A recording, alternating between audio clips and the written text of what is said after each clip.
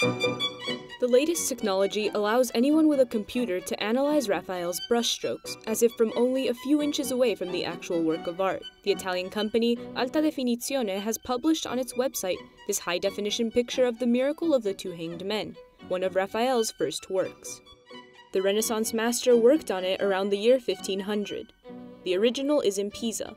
It's small and was part of an altarpiece about St. Nicholas of Tolentino, which was destroyed in an earthquake. The parts that were salvaged were divided into smaller works, like these two on display in Detroit.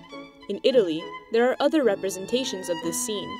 It's the story of two young people unfairly accused of murder. During their execution, they invoke the help of the saint and are miraculously saved. Today, thanks to the miracles of technology, the details of Raphael's piece can be appreciated, perhaps even better than if standing in front of the original itself. On the website are other very interesting works of art, all in high definition. There is Leonardo da Vinci's Last Supper, Caravaggio's Supper at Emmaus,